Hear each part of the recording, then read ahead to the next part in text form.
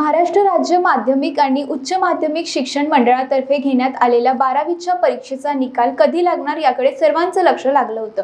अशातच महाराष्ट्र बोर्डाचा बारावीचा निकाल उद्या जाहीर करण्यात येणार आहे. महाराष्ट्र राज्य माध्यमिक आणि उच्च माध्यमिक शिक्षण मंडळातर्फे घेण्यात आलेल्या दहावी आणि बारावीच्या परीक्षा यंदा ऑफलाईन पद्धतीनं घेण्यात आल्या. गेल्या वर्षी कोरोना प्रादुर्भावामुळे परीक्षा झाल्या नव्हत्या पण यंदा मात्र कोरोना आटोक्यात असल्यानं दहावी आणि बारावीच्या परीक्षा ऑफलाईन पद्धतीनं घेण्यात आल्या. आता मात्र विद्यार्थी आणि पालकांना निकालाची प्रतीक्षा होती. दहावीच्या परीक्षेसाठी एकूण सोळा लाख एकोणचाळीस हजार एकशे बहात्तर विद्यार्थ्यांनी नोंदणी केली होती.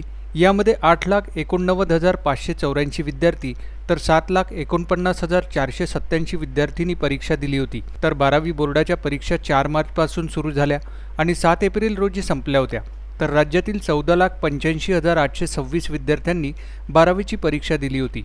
मे महिन्याच्या शेवटच्या आठवड्यात किंवा जूनच्या पहिल्या किंवा दुसऱ्या आठवड्यात दहावी आणि बारावी बोर्डाच्या परीक्षेचे निकाल जाहीर होतात. बोर्डाच्या परीक्षांना सुरुवात झाल्यानंतर लगेच शिक्षक पेपर तपासणीला सुरुवात करतात. मात्र यंदा दहावी बारावीचे सहा ते सात पेपर होऊनसुद्धा अद्याप विना अनुदानित शिक्षकांनी एकही पेपर तपासायला घेतला नव्हता. त्यामुळे शिक्षकांच्या पेपर तपासणीच्या बहिष्कारामुळे दहावी आणि बारावीचे निकाल उशिरा जाहीर होणार का असा सवालही उपस्थित झाला होता. त्यामुळे विद्यार्थी आणि पालक काळजीत होते. पण आता जून महिन्यात निकाल लागणार असल्यानं विद्यार्थी आणि पालकांची चिंता काहीशी मिटली आहे. अशातच उद्या बारावीचा निकाल जाहीर केला जाणार आहे.